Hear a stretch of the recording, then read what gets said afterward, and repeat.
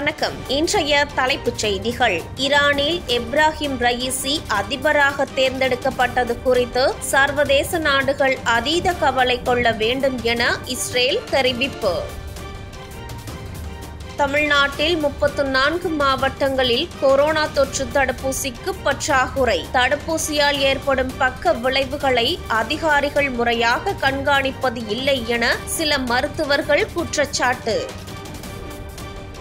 தமிழ்நாட்டில் பொருளாதார நிலையை மேம்படுத்த Raghuram Rajan Esther Duflo Arvind Subramanian Jean ரே உள்ளிட்டோர் அடங்கிய குழு அமைக்கப்படும் என தமிழ்நாடு ஆளுநர் உரையில் அறிவிப்பு.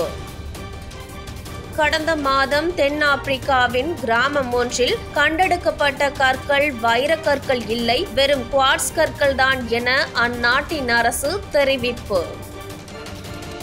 திருவண்ணாமலை ஆரணி அருகே ஏழு வயது சிறுவனுக்கு பேய் பிடித்திருப்பதாக கூறி தாய் உட்பட மூன்று பெண்கள் சிறுவனை அடித்துக் கொன்ற சம்பவம் அப்பகுதியில் பரபரப்பை ஏற்படுத்தியுள்ளது. அகமதாபாத்தின் நடமாடும் நகைக்கடை மனிதர் என புகழப்பட்ட குஞ்சால் பட்டேல் திடீரென தற்கொலை. குழந்தை நட்சத்திரமாக அறிமுகமாகி டாப் ஹீரோக்களில் ஒருவராக வலம் வந்து கொண்டிருக்கிறார் பாலிவுட் நடிகரான ஹிருத்திக் ரோஷன். மகாராஷ்டிராவில் கரும்பூஞ்சை நோய்க்கு எழுநூற்றி இருபத்து ஒன்பது பேர் உயிரிழந்து உள்ளதாக அந்த மாநில சுகாதாரத்துறை தெரிவிப்பு. சென்னை உள்ளிட்ட நான்கு மாவட்டங்களில் இன்று முதல் இரண்டாயிரம் பேருந்துகள் இயக்கம். சென்னையில் உள்ள அப்போலோ புரோடான் புற்றுநோய் மையத்தில் காரை விட்டு கீழே இறங்காமலேயே கொரோனா தடுப்பூசி செலுத்திக் கொள்ளும் வசதி. கொரோனா நோய் தொற்றால் உயிரிழந்தவர்கள் குடும்பத்தினருக்கு நிவாரண நிதியாக ரூபாய் நான்கு லட்சம் கொடுப்பது சாத்தியமற்றது என உச்சநீதிமன்றத்தில் மத்திய அரசு தெரிவிப்பு. டோக்கியோ ஒலிம்பிக் போட்டியில் பங்கு பெறும் இந்திய வீரர் வீராங்கனைகளுக்கு ஆதரவு அளிப்பதற்காக இந்திய ஒலிம்பிக் சங்கத்திற்கு பிசிசிஐ ரூபாய் பத்து கோடி நிதி உதவி. இந்தியா நியூசிலாந்து அணிகளுக்கு இடையிலான போட்டியின் நான்காம் நாளான இன்று சவுதாம்டனில் மழை பெய்வதால் ஆட்டம் தொடங்க தாமதம். திமுக கட்சி தனது தேர்தல் வாக்குறுதியில் முக்கியமான ஒன்றாக விவசாயத்துறைக்கான தனி பட்ஜெட் அறிக்கை திட்டம்.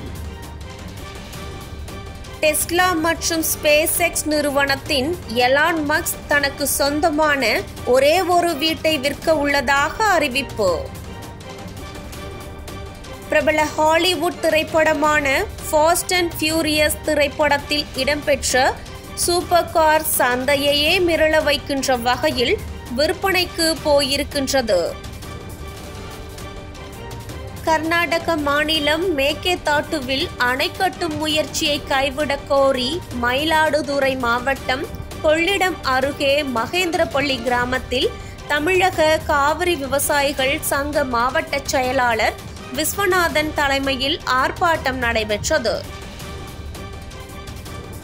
இருபத்தி எட்டு மணி நேரத்தில் கட்டி முடிக்கப்பட்ட பத்து மாடி கட்டடம் சீனாவில் புதிய சாதனை.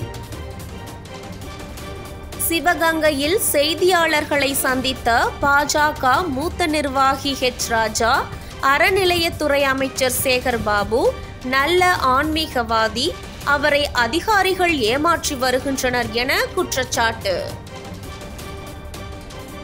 தமிழகத்தில் கொரோனா நிவாரணமாக அரிசி ரேஷன் அட்டைகளுக்கு ரூபாய் நான்காயிரமும் பதினான்கு பொருட்கள் அடங்கிய இலவச மளிகை தொகுப்பும் வழங்கப்பட்டது.